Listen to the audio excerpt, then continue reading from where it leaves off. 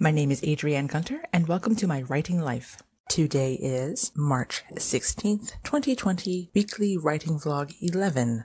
I notice a trend with the renovation next door. It's heavy work starting at 9 a.m., and then after about noon, all work ends. There may be hammering here and there, but it's nothing big. The point is, there's not much to report. However, I would like to know how you are doing. Leave me a comment.